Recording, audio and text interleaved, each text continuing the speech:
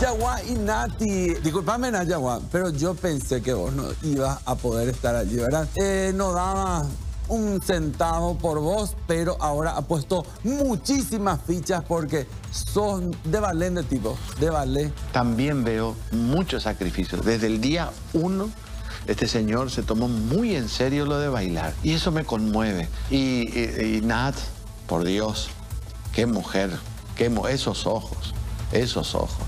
Y cuando baila, se enciende todo. Una buena pareja y desde el día uno veo compromiso allí. Lo que me parece que Yaguá es tan talentoso, está cansado, está siempre lastimado y, y me preocupa.